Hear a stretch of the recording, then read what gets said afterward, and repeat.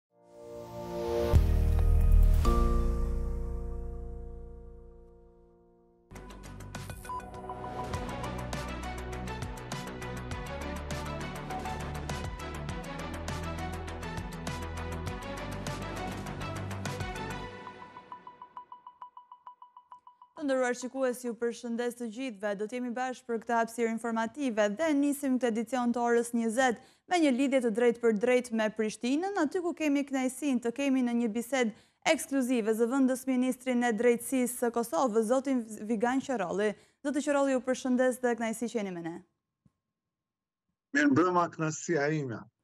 Zoti Qorrolli, nisim fillimisht këtë bisedë tek gjyqi për Banjskën, teksa në Prishtinë nisi në javën e fundit të shtatorit, procesi për të akuzuarit e sulmit terrorist të një viti më parë. Nën masa të rrepta sigurie, tre prej dyzet e pesë të akuzuarve për sulmin terrorist të njëzet e katër shtatorit, u sollën në sallën e gjyqit. Blagoje Spasojeviq, Vladimir Toliq dhe Dushan Maksimoviq, të arrestuarit e një viti më parë, janë të vetmit që mundën të paraqiten në gjykimin e tyre, pasi dyzet e dy të akuzuarit e tjerë janë ende në arrati, përfshirë këtu dhe Milan Radoiçiq, Prandaj, gjykata mori vendimin për të veçuar procesin gjyqësor të gjithëve të akuzuarve. Fillimisht, pse u veçua procedura penale ndaj tyre?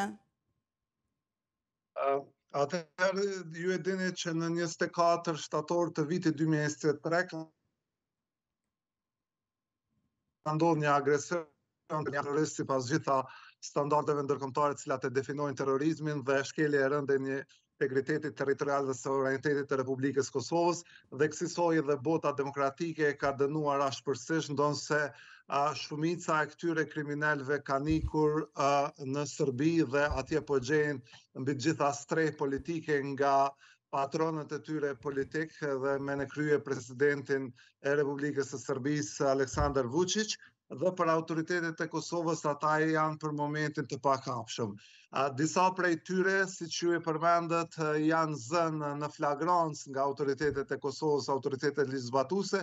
dhe ka filluar tashmë gjykimi zyrtarisht nga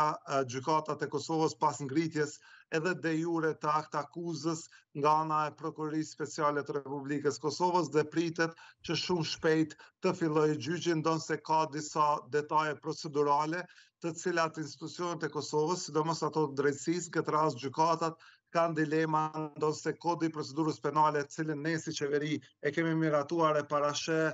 edhe gjykimin në mungesë, po këto janë dilema më shumë profesionale të institucioneve gjyqësore të cilat kanë ngrit nëse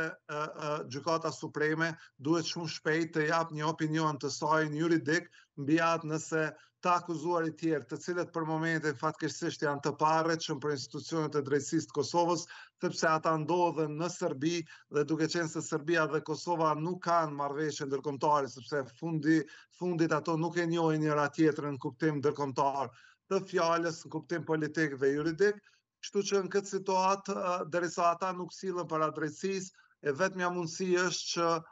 këta që janë të zënë në flagrancë, që për të cilët do të garantohet një gjykim i drejtë në bazë të gjitha konventave, ndërkombëtare. Këtu kam parasysh mbi gjitha Konventën Evropiane për Drejta dhe Liritë e Njeriut, e cila me Kushtetutën e Kosovës është drejt për drejt e zbatueshme dhe Serbia ndonëse ajo disa herë ka kërkuar që me hipokrizinë e saj të cilën e karakterizon më së miri që këtë rast për shkak të presionit ndonjë ndërkombëtar dhe të tentoj të lahet para bashkësisë ndërkombëtare me në një ujë pa kripë të tentojë që të thotë që ne si shtet, domethënë Serbia, ne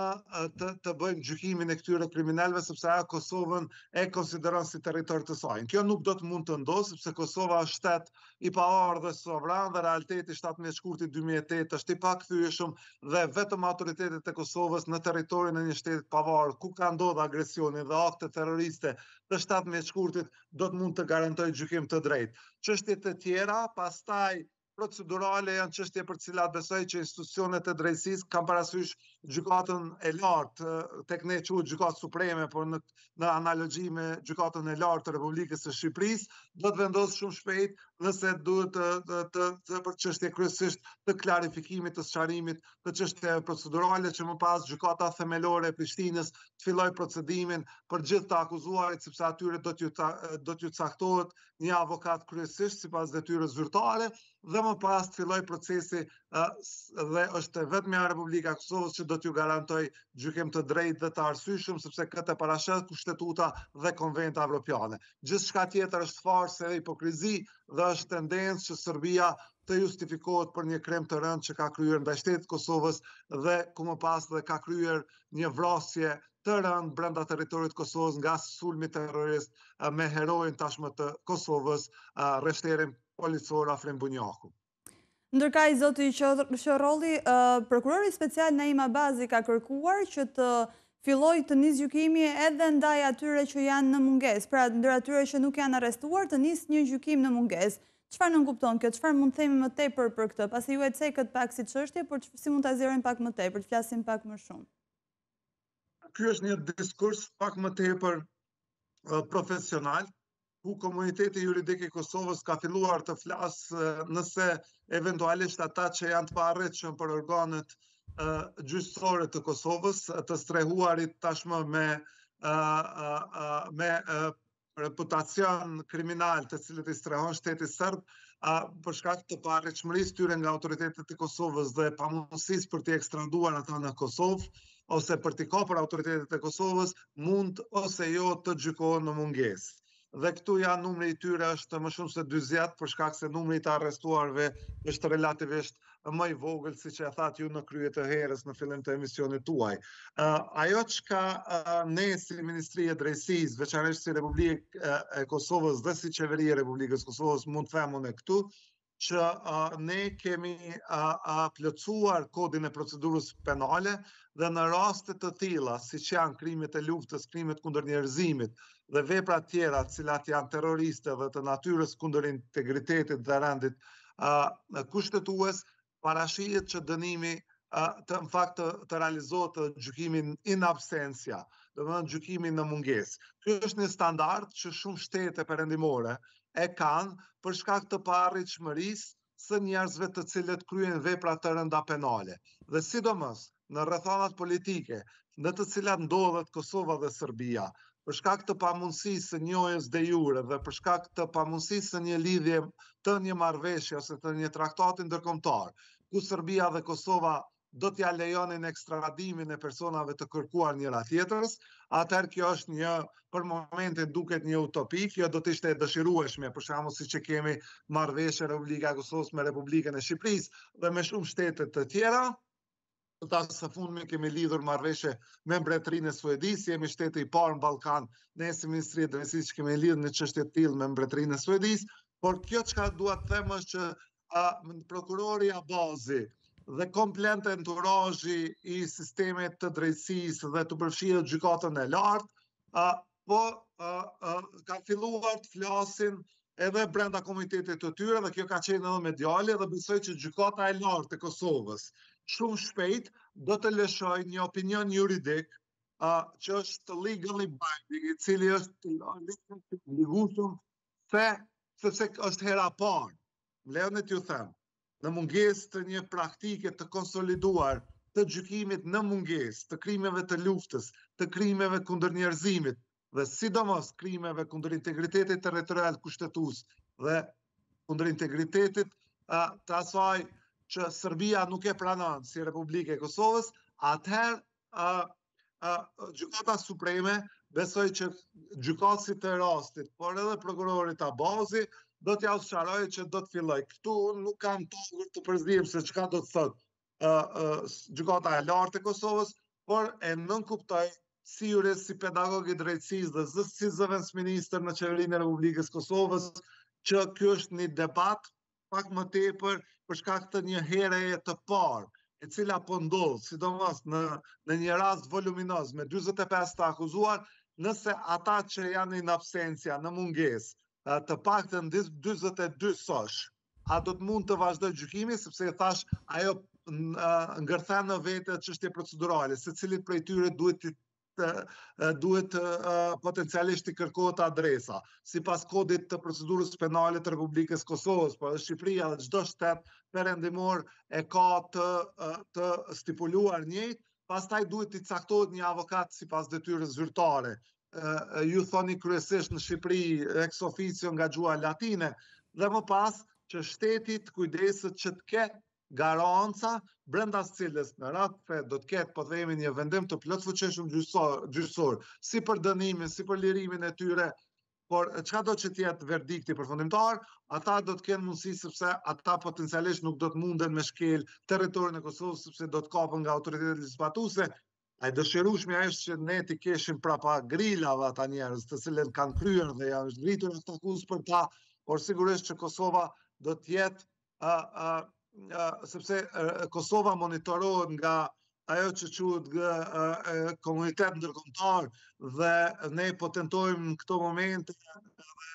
shumë shpejt shpresojmë që të bëhemi anëtar të Këshillit të Evropës, kështu që garancat procedurale, sidomos në fushën e zbatimit të të drejtave dhe lirive të njeriut, të jenë standardet më të larta demokratike dhe në fushën e sundimit të ligjit që Republika e Kosovës do t'i garantojë për gjithë ata dhe ne veçanërisht si institucione, por edhe si qeveri, por sidomos institucionet e drejtësisë në dorë të së cilës është gjykimi fer dhe i drejtë për këta persona edhe në mungesë të tyre fizike të prezencës së tyre, ata do të munden potencialisht me i autorizu avokatët e tyre, nëse nuk i autorizojnë atëherë Republika e Kosovës shteti, oda e avokatëve, institucionet e gjyqit, do t'ua caktojnë atyre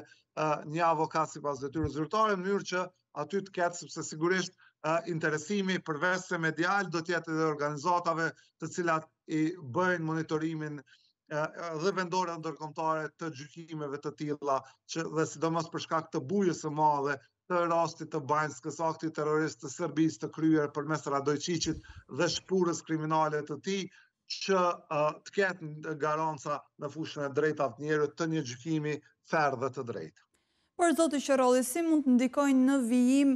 përgjigjet apo vendime që mund të japë Gjykata Supreme e Kosovës? Unë pres që Gjykata Supreme duke qenë se përbëhet prej juristëve eminentë të Kosovës dhe aty kryetari dhe gjyqtarët e kësaj gjykate në kolegjiumet siç ua parasheh ligji dhe organika tjetër që të japin një opinion juridik pozitiv që mund të bëhet gjykimi në mungesë. Nuk ka alternativë tjetër. Nuk mund bëhet e dëshirueshmja gjithmonë po e them. Ë gjëja më e dëshiruar në këtë moment të ishin që ata 45 që parashihen në aktakuzë të jenë të qasshëm për autoritetet ligjzbatuese të Kosovës dhe të jenë në sallën e gjykimit. të paraburgosur, të liruar, sido që të jetë proceduralisht, kjo është pak e rëndësishme, e rëndësishme është që të ketë një gjykim të bazuar në standardet ndërkombëtare. Kështu që unë nuk guxoj së pak për shkak të detyrës time të interferoj në vendimet ose po mund të komentoj nëse më lejohet që pres që vendimi i Gjykatës Supreme, opinioni në fakt se kjo nuk është një vendim i cili do duhej të thonte që mundet ose s'mundet, sepse kodi, legislacioni penal i Kosovës është i qartë dhe pa ekuivok i cili lejon gjykimin në mungesë për raste të tilla. Dhe ne si ministri jemi kujdesur jo tani, por shumë herët, para se me ndodhë rasti Banjska, që të, që të, të lejojë gjykimin, sepse kemi të bëjmë Ne kemi parapa këtë për gjykim për rastet e krimeve të luftës. Ju e dini që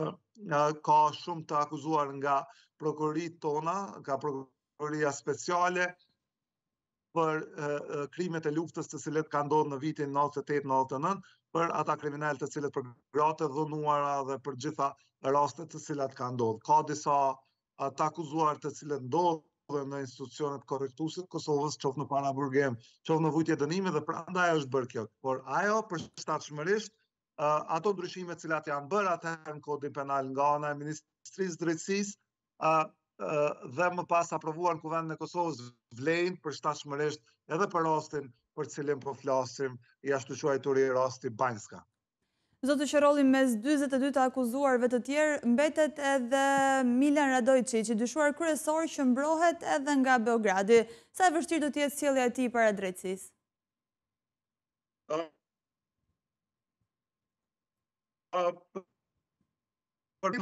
ne duhet ta pranojmë që ai është e para që për institucionet e Kosovës do të ishte mirë që Serbia të luaj gjë që nuk do ta bëj Serbia ta pranojë fajin dhe më pas t'ia dorëzojë autoriteteve të Kosovës po për shkak të suportit politik që ia jep Radojçiçit, sepse Radojçiçi veprën e Banjskës e ka kryer me urdhrat dhe me bekimin politik të presidentit serb dhe komplet mafias politike të Beogradit dhe strukturës së sigurisë, sepse kjo tashmë është vërtetuar katërcipërisht edhe nga institucionet tona të sigurisë, por edhe nga raportet ndërkombëtare, nga shërbimet partnere të inteligjencës, dhe nga qeveritë e shteteve më të fuqishme të botës, kam parasysh Shtetet e Bashkuara të Amerikës, Mbretërinë e Bashkuar dhe Gjermaninë të cilat kanë deklaruar që Serbia duhet të mbahet përgjegjëse për rastin Banjska. Dhe kjo është tashmë e zeza mbi të bardhë dhe askush në krejt botën e civilizuar nuk ka asnjë dyshim. Radojçiç, një kriminel me damkë dhe me suport të fuqishëm politik nga Beogradi, por edhe jo vetëm dhe me goxha partnerë biznesorë dhe politikë në të kaluarën edhe në Kosovë, duhet t'i dorëzohet autoriteteve të Kosovës, por unë nuk jam utopist, që në këtë moment kjo gjë do të mund të ndodhë, ose do të ndodhë së shpejti. Pa një presion, pa një fuqi e cila do ta detyronte Beogradin nga bashkësia ndërkombëtare që ta bëjë dorëzimin e tij, vullnetarisht druaj se kjo do të ndodhë ndonjëherë. E meqë jemi tek fuqia ndërkombëtare që duhet të detyronte Beogradin, a mendoni ju dhe a prisni ndihmë nga perëndimi që të ndikojë tek Beogradi për të dorëzuar Milan Radojçiç? unë do besoja sigurisht në këtë që thoni në konstatimin tuaj se bashkësia ndërkombëtare duhet t'i bëjë presion shumë më të madh, por fatkeqësisht kjo gjë nuk po shihet sepse duket përveç atyre ditëve vijuese të fundshtatorit të vitit 2023 dhe fillimtetorit kur ky komunitet ndërkombëtar kërkonte me ngulm që kjo të ndodhë, tashmë bashkësia ndërkombëtare duket se e ka heshtur këtë punë, për arsye të cilat unë ose nuk i di, ose nuk mund t'i komentoj, dhe nuk më takon mua të them pëse nuk po e bën këtë gjë, ajo çka dua të shoh si rezultat është që në bazë të një presioni i cili do duhej të ishte jo vetëm politik, por sanksionues dhe mbi të gjitha edhe ekonomik për Serbinë, që më pas që Sërbia të vendosej mbrapa shpatullat t'i vendoseshin që thuhet mbrapa murit, mënyrë që e vetmja situatë do të ishte dorëzimi i tij. Këtë gjë vullnetarisht e shoh goxha utopike, unë pa një, pa një, pa një realitet, sepse po flasim për realpolitikë. Dhe kur jena, kur jemi në, në, në, në, në, në konditat e realpolitikës, ashtu siç funksionon bota ndoshta disa shekujt e fundit, po kryesisht shekullin 20 dhe shekullin 21 dhe për shkak të ngjarjeve gjeopolitike të cilat e rrethojnë për momentin globin dhe këto ngjarjet e fundit edhe me Izraelin dhe me Hamasin, me Libanin dhe me gjithë dhe me Iranin, por edhe me luftën e vazhdueshme në Ukrainë, kjo gjë do të ishte ndoshta më më më e vështirë në këto momente. Unë thashë që vetëm Republika e Kosovës Radojçiçit dhe 44 tjerëve të akuzuar do të mund t'u garantonte gjykim të drejtë, sepse Serbia duke qenë se e konsideron Kosovën në thonjëza territor të saj, ajo mendon që një ditë do të mund të thotë që ok, përmes një gjyqi farsë, do të mund t'i gjykojë këta në Beograd ose kudo që të jetë. Kjo gjë nuk do të lejohet as nga Kosova, nuk besoj që as nga bashkësia ndërkombëtare, dhe kështu që vetëm Kosova do të mund nevoj. Por ne duhet ta kryejmë punën tonë, duhet të ta kryejmë gjykimin, ta përfundojmë dhe më pas t'i tregojmë Perëndimit që Kosova është shtet i së drejtës, është shtet demokratik dhe vetëm ajo mund t'i gjykojë këto vepra, sepse ka ndodhur, është një parim i vjetër që buron nga e drejta romake, që shumë shekuj, që krimi dënohet vetëm në territorin ku është kryer, nuk mund të të, të, të gjykohet, dhe më pas dënohet në një territor jashtë atij ku është kryer. Duke zgjeruar diskutimin në një plan më të gjerë, zoti Shërolli, si pritet të vazhdojë dialogu Kosovë-Serbi?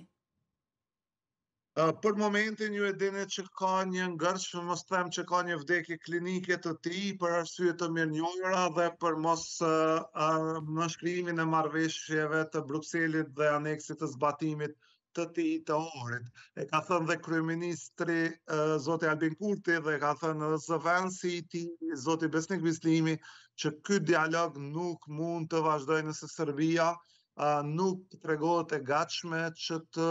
nënshkruajë dy marrëveshjet respektive, sepse e drejta ndërkombëtare është e qartë dhe unë jam pedagog i së drejtës ndërkombëtare në Universitetin e Prishtinës dhe në këtë kënd profesional mund ta them pastërtisht sepse nuk ka një marrëveshje për të, për të cilën a, ose duhet të zbatohet pjesërisht ose në mënyrë dëshirore marrëveshjet ndërkombëtare të cilat lidhen ndërmjet dy shteteve ose implementohen si të tëra ose parcialisht nuk mund të bëhen. Kështu që për momentin ka një situatë për të cilën do të duhet që edhe për shkak të ndërrimit të strukturës udhëheqëse të institucioneve të Bashkimit Evropian ka një ngërç dhe sigurisht që Serbia nuk është e gatshme të bisedojë, sepse është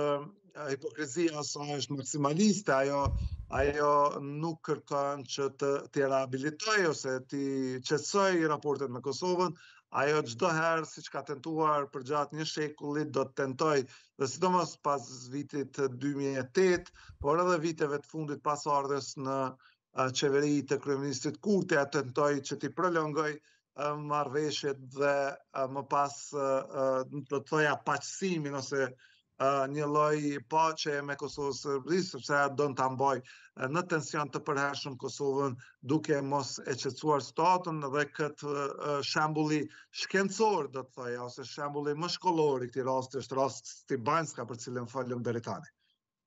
Si e shikoni ju, zoti Qërodit, shmontimin e strukturave paralele serbe në veri të Kosovës? Sa i vështirë do të jetë ai duke patur parasysh se ka patur kritika edhe nga Perëndimi?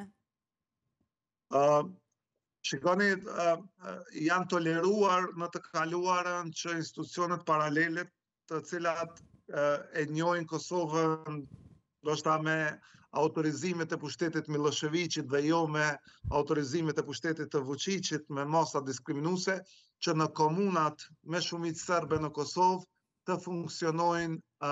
institucionet paralele me mbishkrimet Republika Serbia, komunat paralele dhe çështje tjera të cilat janë krejtësisht jo kushtetuese dhe jo ligjore. është hera e parë në historinë moderne të Kosovës që qeveria e udhëhequr prej kryeministrit Kurti dhe autoritetet tona më pas shtetërore, ligjzbatuese dhe të tjera që kanë bërë shtrirjen e sovranitetit, sepse sovraniteti si shpjegohet edhe në të drejtën ndërkombëtare, po si shpjegohet përgjithësisht në marrëdhënie ndërkombëtare, nënkupton ushtrimi i përhershëm dhe sovran i autoritetit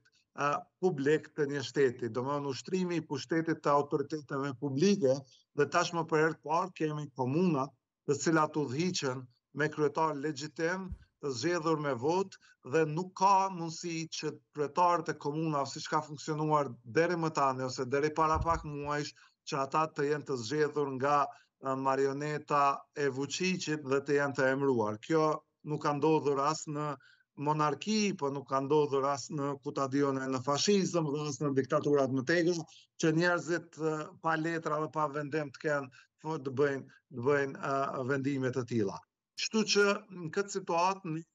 tashmë për, për sa është bërë dhe për sa do të bëhet, besoj që edhe opinioni në Shqipëri është i njoftuar që shteti i Kosovës, respektivisht ato që e thash autoritetet publike të Kosovës,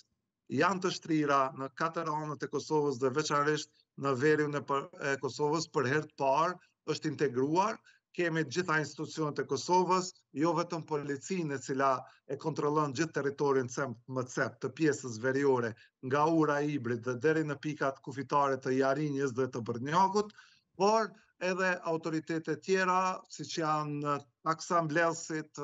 institucionet tjera, si tatimet, energjia elektrike dhe gjithë faturimet, popullatës atje i shkojnë me logon e Republikës Kosovës. Dhe kjo ka ndodhë për herë të parë pas vitit 1999. Meqë edhe ju e përmendët urën e Ibrit, zoti Qorrolli, a do të hapet ura e Ibrit, çfarë pritet në vijim? është bërë goxha diskutim nëse kjo urë do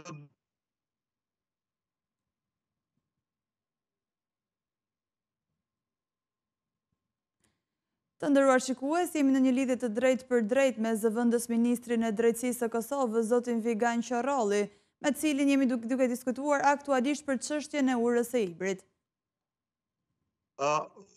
Po, atëherë, ka pas një shqetësim të miqve tanë partnerëve ndërkombëtarë që ura e Ibrit do duhet të ishte një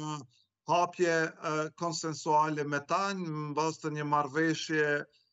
do të thoja edhe politike dhe hapja e kësaj ure të bëhet në të ashtuquajturin koordinim dhe ka pas dhe një ardhje të shefit të inteligjencës më të madhe të botës të CIA të ambasadorit William Burns në Kosovë ku dhe më pas se di nga reagimet janë bërë shumë teori konspiracioni, nëse, nëse kjo do të duhej ndodhë. Ura do të hapet në një moment, sepse ka çështje teknikaliteti, nëse, sepse ajo urë më duhet t'ju them zonjë dhe përmes juve dhe gjithë opinionit në Shqipëri që ura është e qarkullushme dhe e kalueshme për qytetarët në këmbë, vetëm për mjetet motorike, për arsye të një lufte të ftohtë që ka ndodhë mes veriut të Kosovës dhe pjesës tjetër, të ndarë në dysh, pak a shumë si Berlini i kohës së luftës së ftohtë, dhe po që shkoni ndoshta edhe sot në Berlin, do të mund të shihni gjurmë të asaj ndarje historike. Kështu që edhe ura e Ibrit në Mitrovicë do të jetë e hapur besoj shumë shpejt, nuk mund të them datë, sepse nuk është edhe në në kompetencat e mia në Ministria e Drejtësisë nuk ka ndonjë rol, por mund t'ju them si, si pjesë përbërëse e qeverisë Kosovës që ura do të jetë e hapur në momentin kur edhe dhe kushtet teknike, edhe kushtet infrastrukturore, por edhe kushtet tjera përcjellëse politike, të cilat Kryeministri Kurti tashmë i ka thënë qartë dhe hapur. A do të sillte më tepër konflikt hapja e urës së Ibrit me Serbinë? Dhe si do të jo, procedohej nëse do të sillte më tepër konflikt? Po.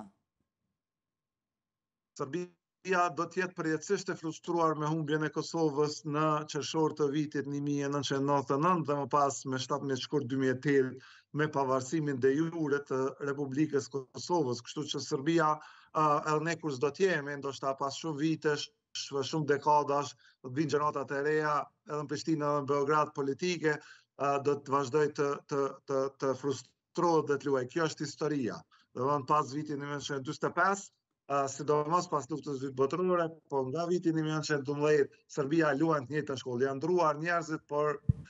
politika e saj gjenocidale ndaj shqiptarëve të Kosovës ka vazhduar, tash është me mjete të tjera, ajo nuk është në Kosovë, duhet ta dijë gjithë njerëzimi edhe gjithë bota e lirë që Serbia nuk kthehet në Kosovë ma. E ka marrë çmimin Serbia, ajo nuk përzihet në urën e Ibrit. Kjo është një çështje për cilën, thashë, duhet një lloj konsensualiteti me komunitetin ndërkombëtar për shkak që KFOR-i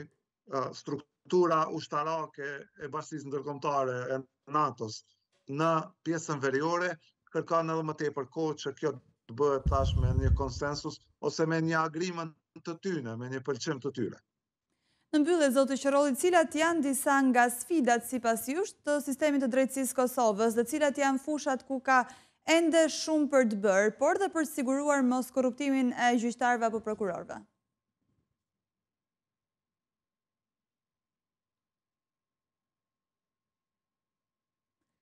Të nderuar shikues, pas po. shumë kërkojnë mirëkuptim për shkak lidhjes, po, po, mund të ketë probleme teknike, po. po dëgjojemi? Po, po, jemi në rregull, zoti Qeroli. Atëherë ne, ne po e realizojmë tani Ministria e Drejtësisë, ne jemi në fund të, të këtij mandati, dhe kjo domethënë po e përmbyllim për herë të parë në historinë politike të Kosovës në 25 viteve të fundit, jemi qeveria e parë të cilën do ta përfundojmë mandatin kushtetues 4-vjeçar. Dhe Ministria e Drejtësisë po e realizon një veting, ndonëse të ndryshëm, do thoja me atë që është bërë dhe po bëhet në Republikën e Shqipërisë, dhe ky vetingu i ynë nuk po mund të bëhet përmes ndryshimeve kushtetuese sepse Kushtetuta e Kosovës së vitit 2008 kërkon edhe shumicën e dyfishtë të votave ku edhe pjesëtarët politikë të pakicës serbe do duhet të votojnë për ndryshimet kushtetuese, për çdo gjë. Duke qenë se lista kriminale politike e udhëhequr nga Vuçiçi dhe Radojçiçi që quhet Lista Serbe, edhe që është në kuvendin e Kosovës, ajo nuk merr pjesë në punimet e kuvendit të Kosovës tash e një kohë, ajo nuk merr pjesë edhe në votimet për kuvend. Ne atëherë kemi kaluar në planin B dhe nëpërmjet ndryshimeve ligjore do ta bëjmë vetingun, jemi drejt kalimit të legjislacionit tanimë në kuvendin e Kosovës, ku më pas këshillat respektivë ndarë që janë gjykatat dhe prokuroritë tona do të kalojnë. Ne kemi bërë shumë punë, jemi shteti i parë në Ballkan që po realizojmë një reformë gjithëpërfshirëse në drejtësi, që përfshin edhe ligjin e veçantë ose ligjin e posaçëm, në atë që quhet realizimi i të drejtës për gjykim në kohë të arsyeshme. Gjykatat tona kanë shumë lëndë, mbi 200.000 lëndë të pazgjidhura në sirtarët e tyre, dhe kjo është një shqetësim i jashtëzakonshëm për qytetarët e Kosovës të cilët kanë dhënë në mënyrë plebishitare votën për qeverinë tonë dhe do ta japin edhe po kështu edhe në nëntë shkurt të vitit 2025 në zgjedhjet e radhës dhe ata presin që qeveria jonë të realizojë reformën sepse drejtësia nuk është çështje vetëm e bërjes së saj, sepse ajo është një drejtësi mekanike dhe nën, e nënkuptueshme, por ajo që e kanë thënë edhe filozofët e mëdhenj të jurisprudencës, që drejtësia për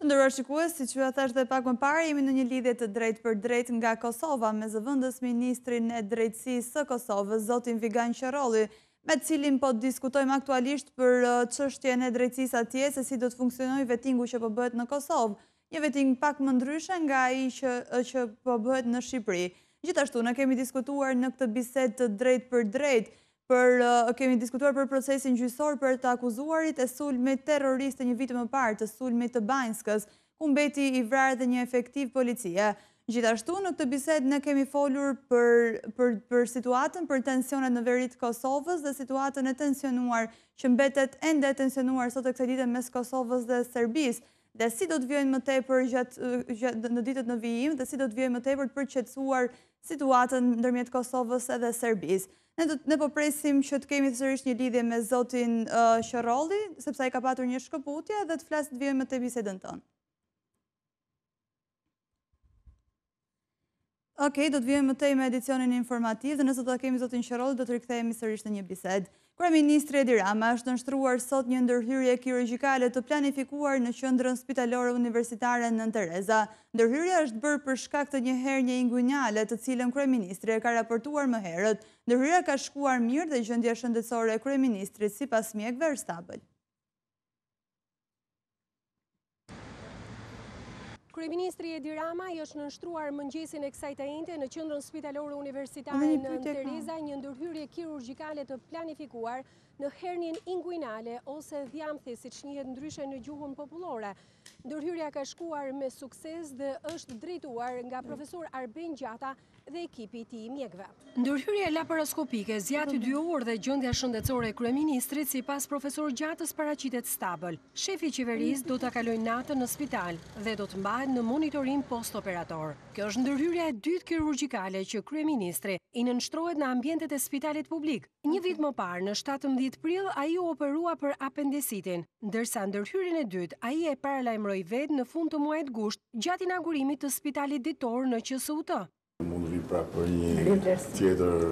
ndërhyrje. Kam një hernie inguinale. Edhe se kësaj diskales nuk kërkoj mjek se Punoj me forcat e mia. Kësaj inguinales me sa me sa duket nuk i bëj dot derman me forcat e mia, kështu që do Ekipi i mjekëve që realizuan ndërhyrjen ishin kirurgët Arben Gjata, Arben Beqiri dhe Dritan Rehovica, si dhe anestezist reanimatorët Krenar Lila dhe Saimir Kuci. Hernia inguinale është një nga sëmundjet më të zakonshme kirurgjikale e cila kryhet me procedurë minimale invazive, me anestezi lokale ose të përgjithshme. Të nderuar shikues, do të rikthehemi edhe një herë tek biseda me zëvendës ministrin e Drejtësisë së Kosovës, zotin Vigan Qorrolli. Zoti Qorrolli, ju përshëndes edhe një herë dhe për ta përmbyllur, le të ndalemi edhe një herë tek sfidat e sistemit të drejtësisë. Herën tjetër mbase do duhet ta realizojmë intervistën në Tiranë. Kërkoj falje prej shikuesve tuaj për çështje teknike, po këtë ka teknologjia. Atëherë siç isha duke ju thënë,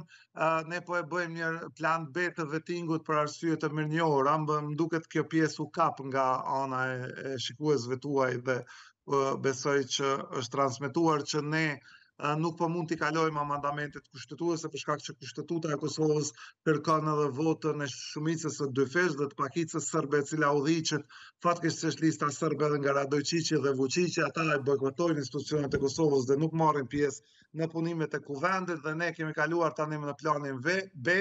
të realizimit të procesit të vetingut përmes infrastrukturës ligjore të integritetit të performancës, sepse edhe Kosova fatkeqësisht ballafaqohet si çdo shtet tjetër i Ballkanit Perëndimor me afërsisht 200-250 mijë lëndë të pazgjidhura, dhe për këtë ne kemi nxjerrë dhe do të jemi besoj shumë shpejt shteti i parë gjithashtu në Ballkan që do ta nxjerrim do të kemi një ligj të veçantë për realizimin e të drejtës për gjykim në kohë të arsyeshme dhe sepse qytetarët të cilët na kanë votuar me 50% plus siç do të na votojnë njëjtë dhe edhe më shumë besojmë në 9 shkurt të vitit 2025 do duan që drejtësinë ta shohin se po bëhet Kështu që ne nuk duam t'u bëjmë presion institucioneve të pavarura të drejtësisë, por të paktën infrastrukturën ligjore t'ua krijojmë që të punojnë dhe mos të kenë ankesa të vazhdueshme për mungesë të infrastrukturës ligjore ose çështje të tjera me normativa të cilat nuk duhet nuk dua t'i komentoj në këtë pjesë. Po ashtu ne kemi kaluar dhe ligjin për byronë shtetërore për verifikimin dhe konfiskimin e pasurisë tanimë dhe shpresojmë që shumë shpejt që të fillojë të jetësohet kjo byro, mënyrë që çdo pasuri e cila është e pajustifikueshme, e paligjshme dhe fituar me vepër kriminale në të kaluarën, sidomos nga njerëzit të cilët në ofiqe publike janë pasuruar në disproporcion me të hyrat e tyre, të ligjore për shkak të korrupsionit dhe formave të tjera kriminale, do duhet të jenë përgjegjës para qytetarët e Kosovës për vjedhjen e pasurisë së tyre dhe shumë çështje të tjera, të cilat ndonjëherë tjetër do të them tash unë jam koordinator nacional i drejtësisë tranzicionale dhe kështu që ne do të kemi një kujdes të veçantë për për t'u marrë me të tashmën pa harruar të kaluarën dhe duke bërë një performancë të mirë me atë që njihet si dealing with the past. Po ashtu dhuna ndaj gruas, ne shumë shpejt me ndryshime që do t'i bëjmë, do ta stipulojmë femicidin si vepër të veçantë penale, mënyrë që dhuna ndaj gruas të minimizohet, sepse mos them edhe të eliminohet tërësisht, fatkeqësisht ka dhunë në familje, ka dhunë ndaj gruas dhe ne nëpërmjet ashpërsimit ligjor dhe po tentojmë që ta bëjmë sa më të pakësuar këtë gjë ose të minimizuar. Kemi krijuar gjykatën komerciale, do ta bëjmë gjykatën administrative dhe të punës, kemi themeluar gjithashtu institutin për krimet e kryera gjatë luftës në Kosovë, është bërë një punë e jashtëzakonshme këto 4 vite, shpresojmë që edhe në mandatin tjetër të vazhdojnë çështjet e mira për të mirën e qytetarëve dhe drejtësia, siç e thashë nga një maksimë e vjetër, që buron nga filozofia e jurisprudencës duhet të shihet që po bëhet. Ne duham t'i tregojmë qytetarët e Kosovës që qeveria e Kosovës dhe respektivisht Ministria e Drejtësisë po bën një punë e cila do të shihet dhe më pas edhe nga institucionet e pavarura. Përveç tjerash është edhe reforma në Këshillin Prokurorial të Kosovës, sepse është një organizatë korporatiste të cilën e ka quajtur një institucion i cili fatkeqësisht është kontrolluar dhe po kontrollohet nga partitë të cilat kanë qenë në pushtet për 20 vite në Kosovë dhe ata nuk nuk po nuk po nuk po funksionojnë ashtu siç Venecia i ka quajtur korporatista për shkak të nepotizmit dhe dembelisë së madhe e cila i karakterizon. Zoti Qorrolli, ju falënderoj shumë për këtë bisedë dhe që gjetët kohën tuaj për të qenë me ne. Kënaqësia është gjithmonë e imja, ju përshëndes dhe ju uroj një mbrëmje të bukur. Faleminderit shumë edhe ne ju.